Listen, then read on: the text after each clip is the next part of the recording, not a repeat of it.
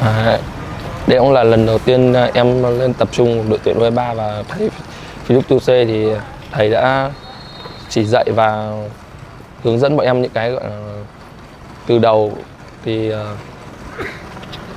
truyền bóng và chọn thời điểm. Quan trọng là chọn thời điểm và truyền bóng. Mới đầu thì em có chút khó khăn mà sau đó thì em cố gắng và tập trung thì cũng hiểu một hiểu được à, phần nào đó triết lý của thầy lên đội tuyển là mức độ cạnh tranh thì em thấy rất là khắt khe các bạn thì cũng rất là tiềm năng và em phải cố gắng rất nhiều. À, em thì thực ra em thích anh Hoàng Đức và lên được tập luyện của các anh thì em cảm thấy là đầu tiên là may mắn và thứ hai là em học hỏi được các anh rất nhiều. Ờ, các anh là động lực và cũng là